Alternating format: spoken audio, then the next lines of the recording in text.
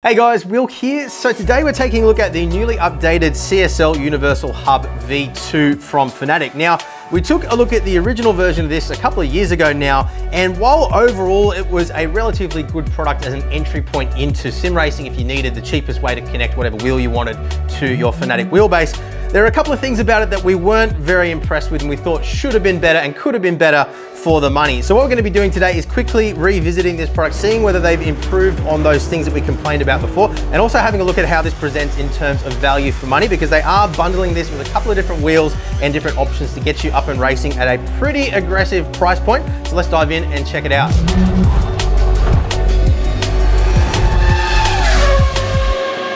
Okay, so firstly, as always, to kick off here, quick thank you to Fanatec for sending across the new V2 hub for us to check out. They've also sent across a selection of a few different rims, which I'm gonna be showing you in today's video as well. And we also do have most of their other gear here in the studio as well, which you can reference throughout today's video. So big thank you to them for making it possible by sending us across everything to check out and make this video.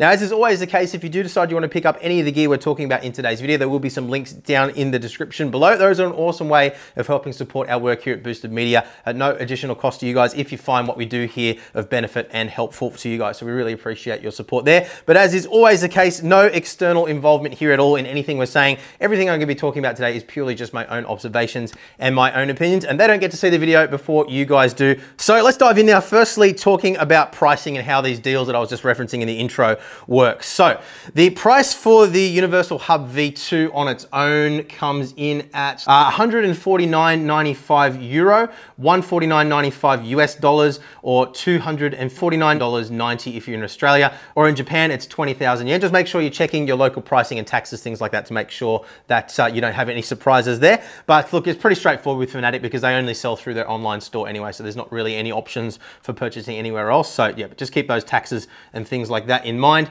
Now, what they're doing with this is they're making it so if you purchase it in conjunction with one of nine of their wheel rims, which are the rims that don't have any sort of button box attached attached them, literally just a dumb steering wheel like that. So there's a selection of nine different steering wheels ranging from 270 millimeter, like what we have here, all the way through to 330 millimeters, like this guy. We'll list them all on the screen for you guys with a couple of pictures so you can see what they are. But if you buy this in conjunction with any one of those rims, they're doing it for 199.95 euro. But then they also have the deal with the CSL DD at the moment, where if you buy a wheel in conjunction with the CSL DD, they do the CSL DD for 199.95 as well. So what that means means is that you can get a complete package with the wheelbase, the hub, and a wheel, obviously without pedals, for under 400 euro, which is a really good deal, particularly when you consider, uh, say, the Moza R3, for example. That comes in a little bit more expensive depending on where you are in the world once you factor in taxes and shipping. And that comes bundled with pedals, which aren't really very good, and most people are probably ultimately going to be updating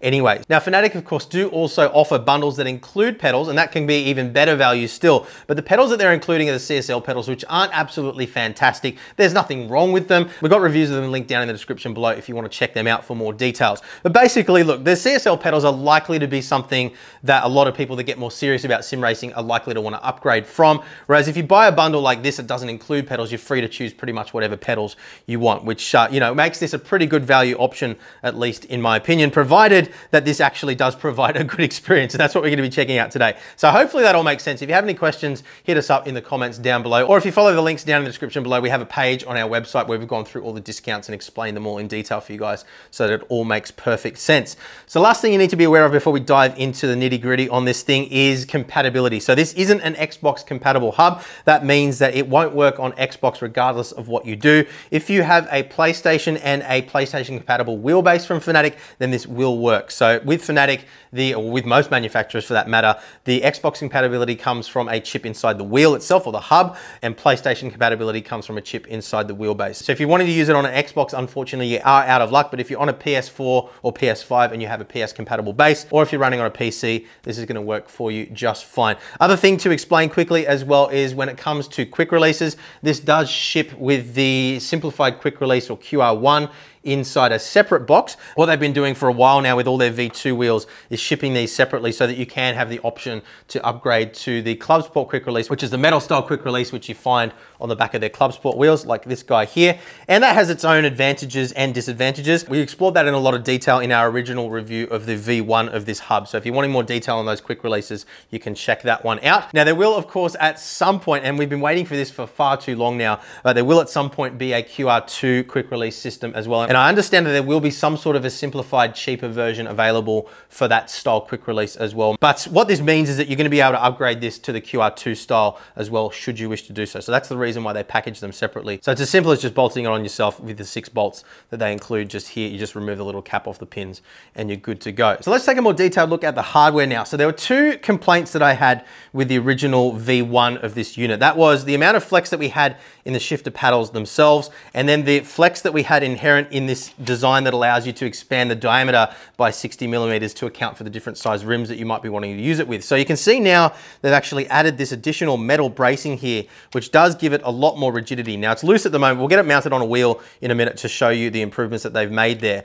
But uh, look, those, those are the two major improvements, and they say in their literature here that the metal bracing has improved the rigidity by 23% compared to V1. They don't state a number for the paddles themselves. Now these actually look identical, at least externally, but I did notice immediately that they have a lot less flex just holding it like this than they did previously. And then other than that, it's just cosmetic changes to the buttons on the front and whatnot. All the other functionality is still pretty much exactly the same. So we've got two toggle switches here, one, two, three, four, five, six, seven, eight push buttons. We've got a rocker switch here too, and then a seven-way funky switch with down, up, right, left, and rotary encoder functionality. Same access to the tuning menu and telemetry via the little seven segment display that we have, or three by seven segment display, I should say, on the front, and the same mounting patterns as well with metal nut serts for mounting your wheels. So we've got a three by 50 millimeter stud pattern, as well as a 70 millimeter by six stud pattern here too. So it's gonna be compatible with the vast majority of wheels. They don't recommend that you use this for wheels any bigger than about 330 millimeter,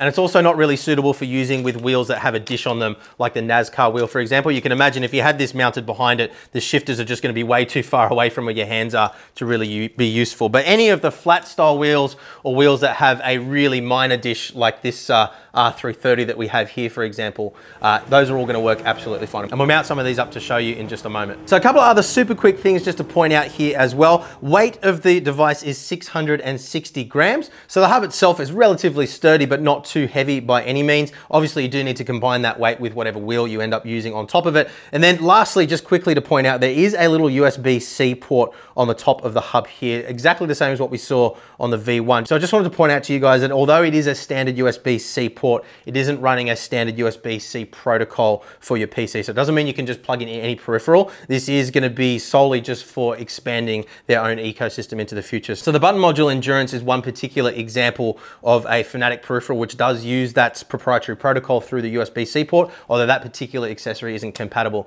with this particular hub. So I'm guessing they must be releasing some other new stuff later on down the track, but they just haven't released anything yet that utilizes that port. But just in case you're wondering, no, you can't just plug in some other USB wheel into that USB port and have it all function through the base. So just lastly, before we mount up a wheel on this thing and go for a drive, just want to quickly talk about the quick release in a little bit more detail. Now we talked quickly before about the upgrade path from the simplified quick release like this to the Club Sport style quick release you see on this particular wheel. One thing to be aware of there is if you do have a DD1 or DD2, exactly like what we see with Fanatec's other entry level wheels and the V1 of this particular hub, if you've got the simplified style quick release, you'll notice it's got this little pin on here whereas the metal quick release doesn't have that pin. Now, if we put this onto the back of the hub, you can hear when I push it in, there's that little click. So there's actually a little button inside here what that pin does is it pushes on that button and that tells the hub to disable high torque mode on the DD1 and DD2. And that is just to protect the wheel and wheelbase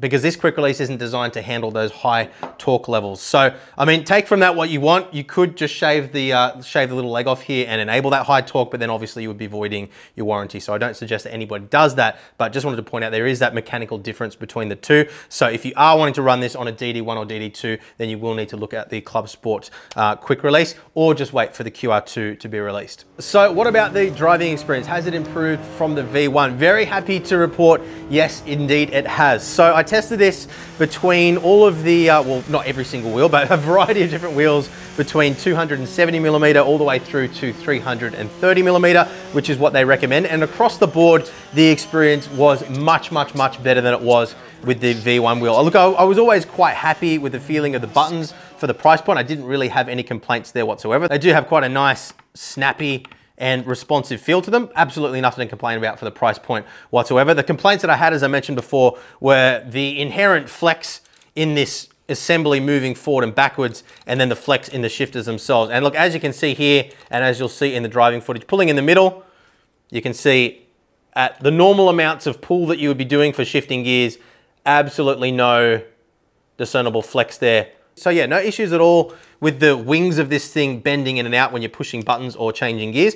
And then with the shifters themselves, look, there is still a little bit of flex there. You can feel a bit of squishiness at the bump stops, but the main issue with the previous model was when you pulled on the top or on the bottom, the whole thing bent and buckled and it just felt terrible. Whereas now, there's still a little bit of flex there. I'm not gonna obviously lie, but to me, that is what I would say is more than acceptable at this kind of price point, and that's consistent with the variety of different rims that we tested this with as well. Now, one thing I will mention with regards to the shifters is that the actual feeling of the shift click or the engagement of the shifter paddle is the same as it was on the V1. So definitely not something that I would say is fantastic. I think it's adequate for the price considering the discounts that they put on the bundles that they have in place now but it does still just feel like you're activating a micro switch. Whereas if you step up to the Club Sport Universal Hub V2, you do actually get the magnetic paddles with that, which are much, much, much better. So if that's something that's important to you, then it's definitely worth considering that product. This is a V1 that we have here, but uh, for all intents and purposes,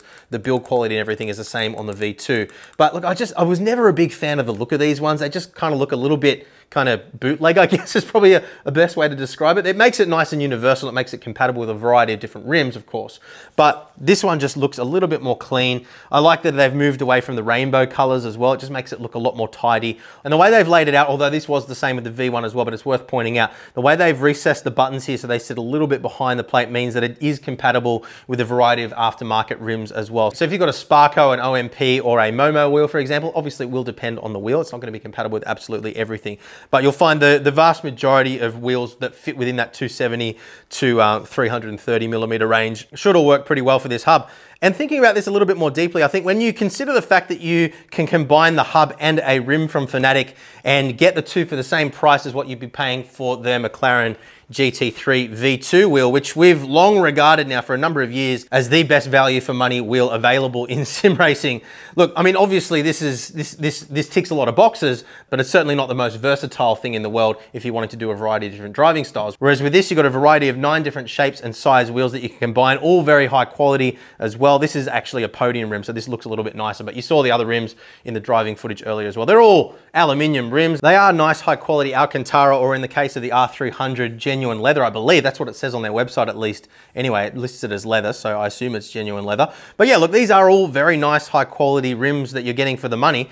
And, uh, you know, whereas this, with this, you're making a little bit more sacrifice in terms of just the materials being used and the overall quality. So yeah, overall, when you consider the quality of the rims that you're getting, the improved quality now of the Universal Hub, the price point, and the fact that you can combine it with a CSL DD at five Newton meters without pedals for 400 euro, I think that is pretty darn good value overall. So yeah, it's definitely a thumbs up from me. I wish that they got it right the first time two years ago. I was disappointed with the original V1 Universal Hub, but it's great to see that they have improved upon it, although it did take longer than it maybe should have. But what we've ended up with here is definitely a hub, which I think gives you a good high quality entry point into direct drive sim racing, gives you plenty of adaptability and versatility.